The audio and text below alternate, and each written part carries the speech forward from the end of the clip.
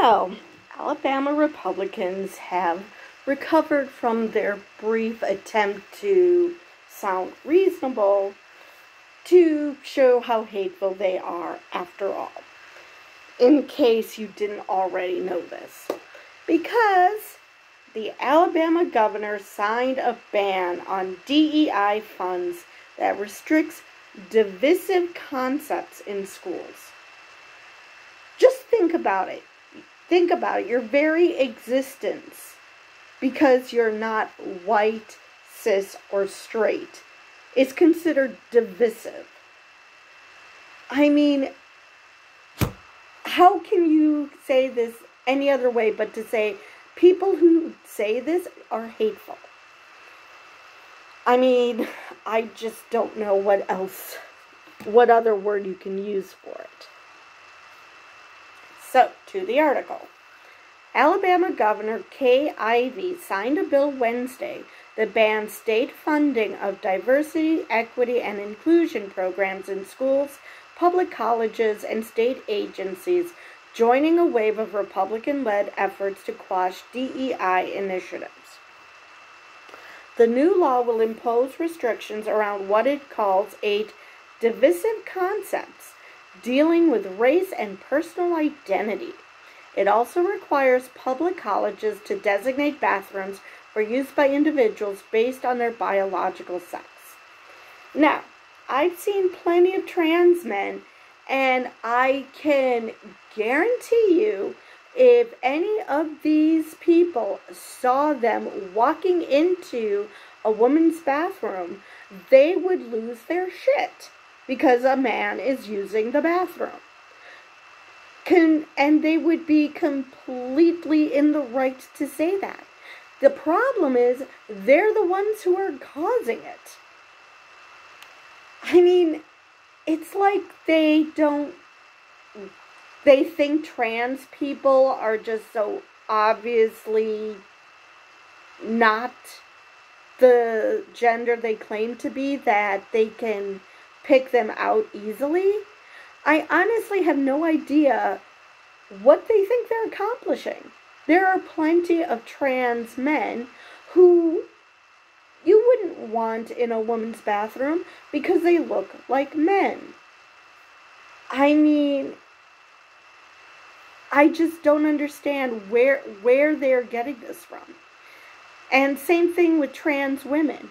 There are plenty of trans women who pass.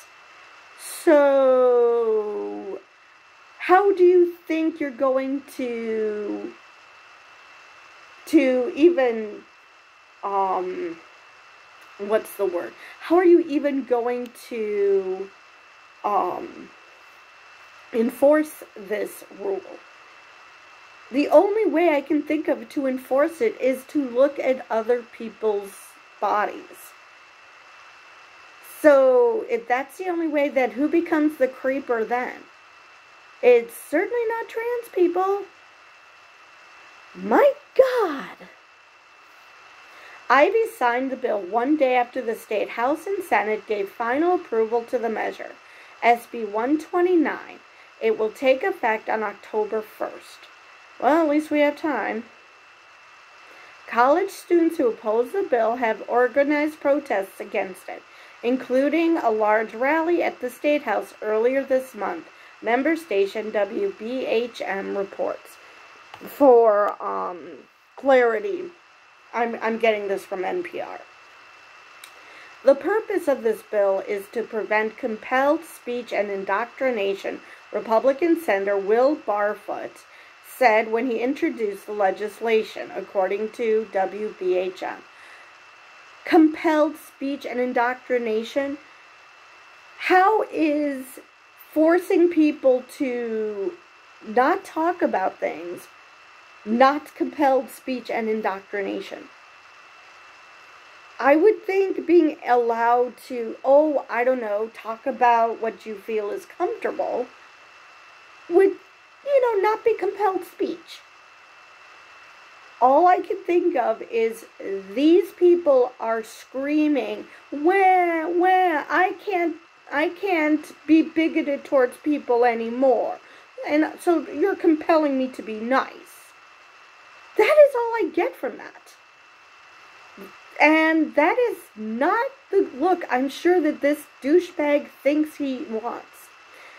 Because whenever I use the terms bigot, transphobe, racist, sexist, whatever, people get upset.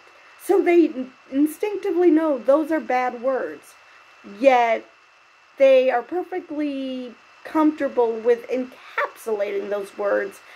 But somehow, if you don't use those words to describe them, it's okay. Ah! Bigotry is so weird. It's certainly not logical.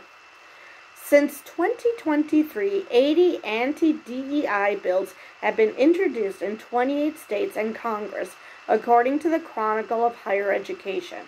Measures have been signed into law in eight states. Critics of such bills say they're motivated more by politics than by educational aspirations. You don't say. They, al- they also say efforts to ban DEI are more likely to undermine rather than protect free speech protections. You don't say. You know, I understand. People want to be able to be bigoted and say and use the N word or the F word or whatever, the C word, whatever, against people they don't like. That is not what DEI does. You can be as bigoted as your little heart, little um, little um, shriveled heart desires. However, that does not mean that the people around you are going to just sit back and nod and smile and ignore and just act like they agree with you.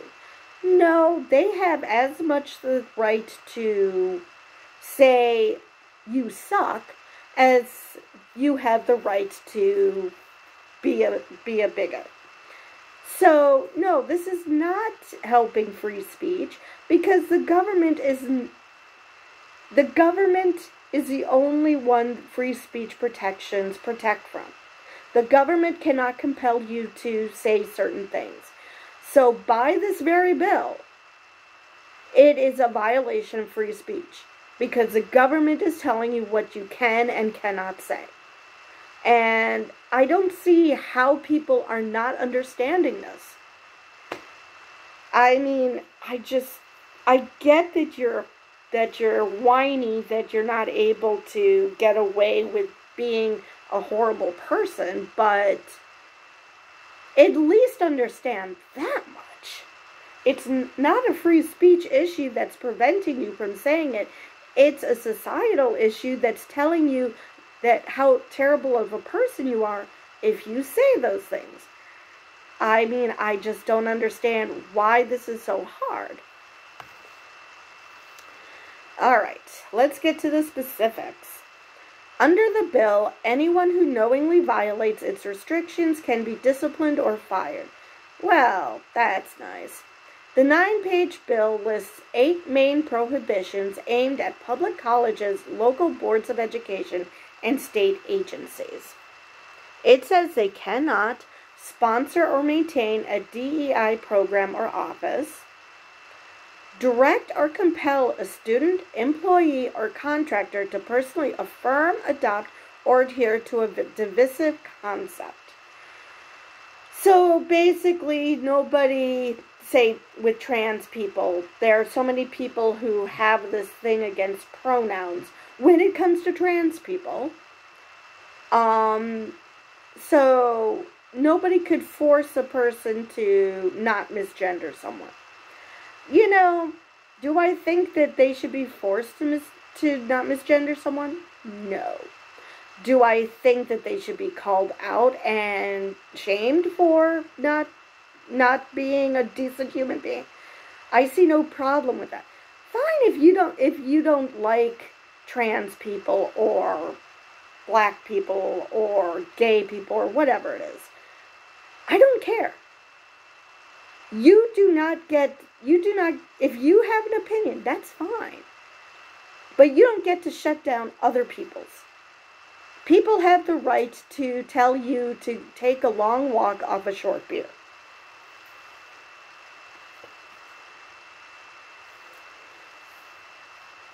Required require people to attend or participate in any diversity, equity, and inclusion program or any training, orientation, or coursework that advocates for or requires assent to a divisive concept.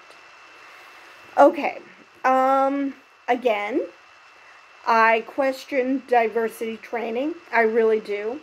People who say bigoted things then have to undergo sensitivity training. And people who are only like that because it's what they've heard as opposed to a sincerely held belief, those people might benefit. But those people who are rotten to the core, this isn't going to do them a damn bit of good.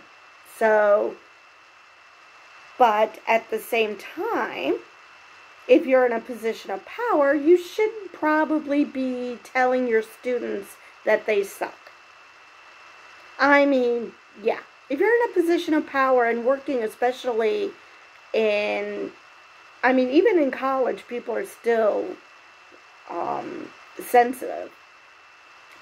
So maybe, yeah, maybe if you want to work in a school where you don't have to be confronted with diversity, uh, maybe go to, I don't know, like Liberty U, where the only diverse student body you'll see are the basketball players. Possibly football. I don't know if they have football. Make anyone share his or her personal point of view on any divisive concept outside of an academic setting. Okay, that makes perfect sense. No one should be forced to be outed for being bigots. That's perfectly fine. I wonder how many of these things are actually happening and how many of it is is people butthurt so so afraid of being outed as a bigot that they're coming up with this list because most of these things sound fairly reasonable under certain circumstances.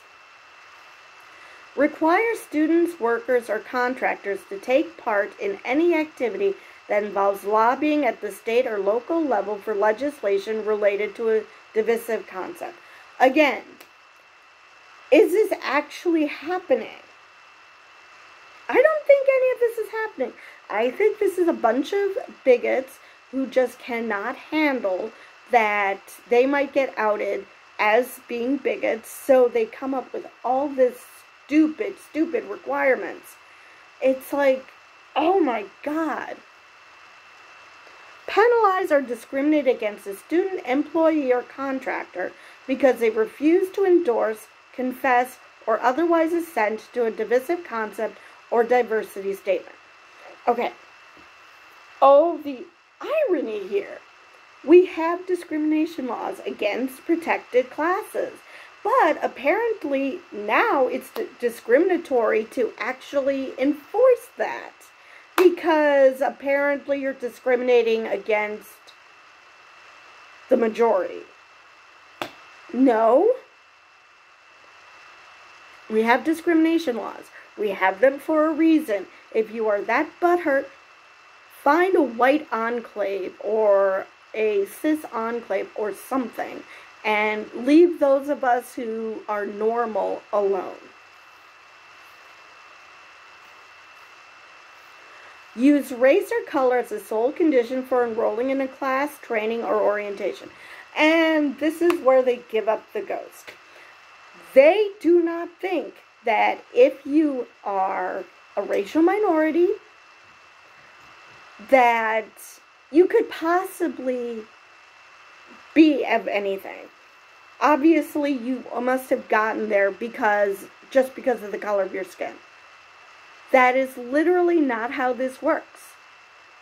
I mean, okay, you're anti affirmative action. Fine.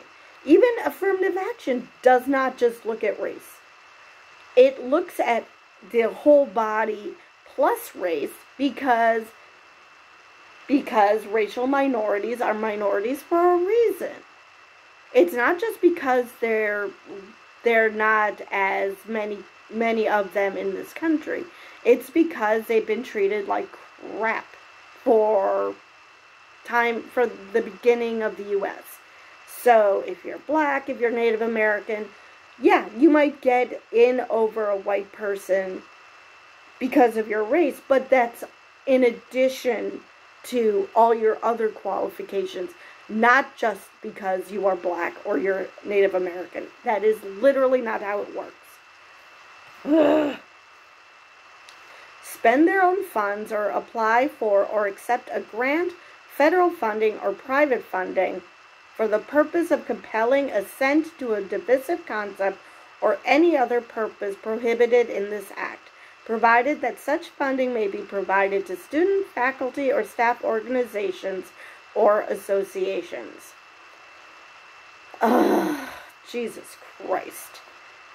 They are so scared that people will discover that racism exists that they're actively trying to prevent people from learning about racism or sexism or any ism for that matter. It is so mind boggling how dumb this is. Okay, what are the divisive concepts? Because that's the other thing. It, literally anything can be a divisive concept. Learning about white nationalism could be a divisive concept. Learning about religion could be a divisive concept. But somehow, I don't think, especially if it's Christianity, somehow I don't think that's what they mean. The legislation does not specifically mention the troubling record of Alabama and the U.S. on race, such as the dehumanizing enslavement of black people and the long-standing attempts to disenfranchise black voters. Huh. Never would have figured that.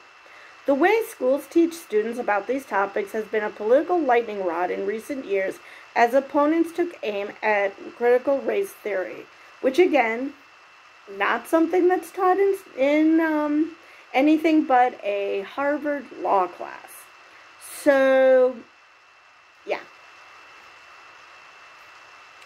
The new Alabama legislation lists eight divisive concepts that range from the idea that any race, color, religion, sex, ethnicity, or national origin is inherently superior or inferior okay, to the notion that any individual should accept, acknowledge, affirm, or assent to a sense of guilt, complicity, or a need to apologize on the basis of his or her race, color, religion, sex, ethnicity, or national origin. My God, this is like I'm I feel like I'm in an alternate reality. None of this is happening. Just because you're a bigot or you feel guilty that bigotry is, exists does not mean that was the goal. Nobody is trying to make a white person feel guilty about being white. If you feel guilty for being white, that's on you. That's a you problem. This is just to let you know that this shit happens. And there are ways to mitigate racism, the systemic racism. That does not mean that every white person is guilty. That just means that this this happened in the past, it's still happening. If you feel guilty because of your race, that that's something you have to deal with. Nobody is telling you to feel guilty. But because they probably or they would feel guilty if they were capable of such emotion and shame again, if they were capable of it, they feel that other everybody else will. So let's not talk about it. No, that's literally not what's happening. The bill also rejects the idea that any individual is inherently racist, sexist, or oppressive, whether consciously or subconsciously. Oh, really? A position that runs counter to what social scientists have concluded in res- recent decades. Yes, people are inherently racist, sexist, oppressive, whether consciously or subconscious, because they're raised in that fucking environment. If you're raised to be a loving person, then chances are you're going to be a loving person. if you are raised to be a horrible bigot, and chances are you're going to be a horrible bigot. Now, obviously, that's not everybody. There are people who um, get out of that horrible ideology, and there are people who are raised inherently loving and turn out to be horrible people. So it's not strictly that that nurture can can solve everything. It's not just your environment, but environment plays a big part. So Other divisive concepts the legislation states includes the idea that people in one demographic group are inherently responsible for actions committed in the past by other members of that group. Again, that is not what anybody has ever said, and it's not what, and the only people who are doing this is they might feel guilty for sins of the past and so instead of confronting it, they decide everyone must feel guilty for it. No, no one asked you to feel guilty. If you feel guilty for something that white people did in the past, like slavery, that's on you. I mean, I'm white. I know that I have white privilege and I use my power for good, but and I know that there are white people who have used their power to oppress people, but I don't feel guilty on behalf of them because I know not all white people are the same. So, what the hell? Like I said, this is some alternate reality that this bill is written for a world that does not exist. It is so bizarre. The bill's longest section is devoted to laying out its limits, and some of the language seems geared toward preventing it from being overturned by legal challenges. Nothing in this act, the legislation states, may be construed to inhibit or violate the First Amendment rights of any student or employee or to undermine the duty of a public institution of higher education to protect to the greatest degree academic freedom, intellectual diversity, and free expression. Which it comes counter to what you just claimed you're trying to do. So pick a lane. What the hell? But that is exactly what was construed by Alabama House Representative Ontario Tillman, a Democrat, during debate over the bill. This is a 14th Amendment violation, clearly vague, clearly unconstitutional, he said, according to WBHM. We're putting a prior restraint on my thoughts of speech, he called. He added, calling out what he said was a First Amendment violation. Of course, it's a First Amendment violation. The government is telling you what you can and cannot say. Duh. If there was a if there was a classic case of a First Amendment violation, a more classic case, I do not know what it is. The bill says it doesn't prevent students, staff, or faculty groups from hosting DEI event or discussions as long as they don't use state money.